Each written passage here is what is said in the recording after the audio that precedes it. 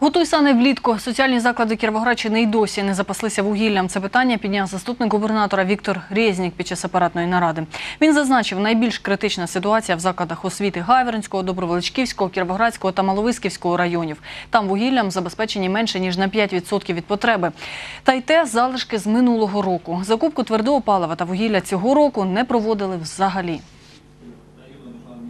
На вугільних складах черги, і просто мешканці готові отримати, купити вугілля фізичні особи, а соціальні заклади і охорона здоров'я, і освіта залишаться без вугілля в тих районах, які я тільки що озвучив.